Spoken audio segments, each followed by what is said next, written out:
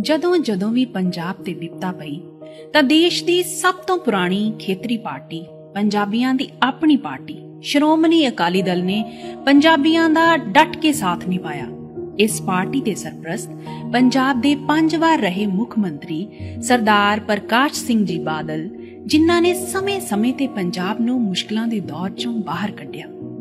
ਉਹਨਾਂ ਦੀ ਯੋਗ ਅਗਵਾਈ ਹੇਠ ਪੰਜਾਬ ਨੇ ਬੇਮਿਸਾਲ ਤਰੱਕੀ ਕੀਤੀ ਹੈ। ਪੰਜਾਬੀ ਸੂਬੇ ਦੇ ਹਿੱਤਾਂ ਦੀ ਖਾਤਰ ਉਹ ਹਰ ਸੰਘਰਸ਼ ਵਿੱਚ ਡਟ ਕੇ ਖੜੇ ਰਹੇ ਹਨ। ਕਾਲੇ ਦੌਰ ਚੋਂ ਗੁਜ਼ਰੇ ਪੰਜਾਬ ਨੂੰ ਖੁਸ਼ਹਾਲ ਤੇ ਆਬਾਦ ਰੱਖਣ ਲਈ ਇੱਕ ਯੋਗ ਪ੍ਰਸ਼ਾਸਕ ਵਜੋਂ ਉਹਨਾਂ ਨੇ ਆਪਣਾ ਹਰ ਫਰਜ਼ ਬਾਖੂਬੀ ਨਿਭਾਇਆ। ਪੰਜਾਬ ਵਿੱਚ ਅਮਨ ਸ਼ਾਂਤੀ ਕਾਨੂੰਨ ਵਿਵਸਥਾ ਬਣਾਈ ਰੱਖੀ।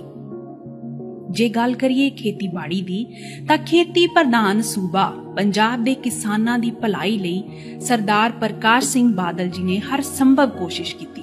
ਪੰਜਾਬ ਦੇ ਮੰਡੀ ਸਿਸਟਮ ਦੀ ਮਜ਼ਬੂਤੀ ਲਈ ਅਥਾ ਉਪਰਾਲੇ ਕੀਤੇ।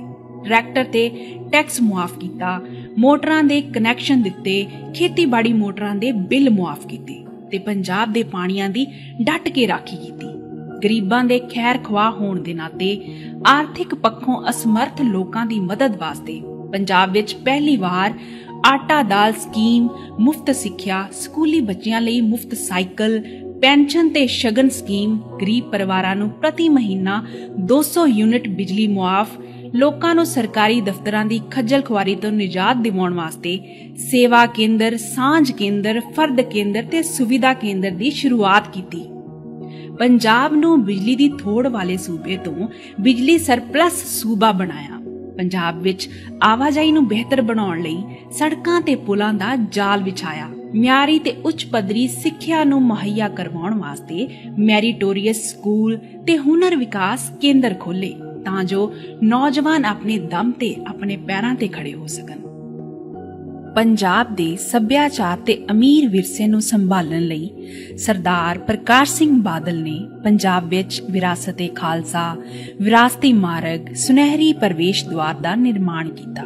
ਪੰਜਾਬ ਦੇ ਧਾਰਮਿਕ ਸਥਲਾਂ, ਭਗਵਾਨ ਬਾਲਮਿਕ ਸਥਲ ਸਮੇਤ ਕਈ ਧਰਮ ਸਥਾਨਾਂ ਦਾ ਨਵ ਨਿਰਮਾਣ ਕਰਵਾਇਆ ਤੇ ਆਰਥਿਕ ਤੰਗੀ ਕਾਰਨ ਧਾਰਮਿਕ ਸਥਾਨਾਂ ਦੀ ਯਾਤਰਾ ਨਾ ਕਰ ਸਕਣ ਵਾਲੇ ਯਾਤਰੀਆਂ ਲਈ ਮੁਫਤ ਮੁੱਖ ਮੰਤਰੀ ਤੀਰਥ ਯਾਤਰਾ ਸ਼ੁਰੂ ਕੀਤੀ। ਸਮੂਹ ਪੰਜਾਬੀਆਂ ਦੇ ਪ੍ਰਵਾਨਿਤ ਆਗੂ ਦੇ ਤੌਰ ਤੇ ਸਤਕਾਰੇ ਜਾਂਦੇ ਸਿਆਸਤ ਦੇ ਬਾਬਾ ਬੋੜ ਨੇ ਆਪਣੀ ਸਾਰੀ ਜ਼ਿੰਦਗੀ ਪੰਜਾਬ, ਪੰਜਾਬੀ ਤੇ ਪੰਜਾਬੀਅਤ ਨੂੰ ਸਮਰਪਿਤ ਕੀਤੀ।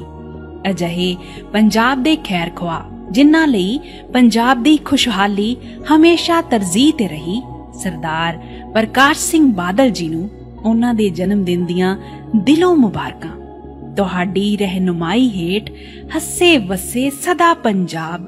ਖੁਸ਼ ਰਹੇ ਖੁਸ਼ਹਾਲ ਰਹੇ ਰਹੇ ਸਦਾ ਆਬਾਦ।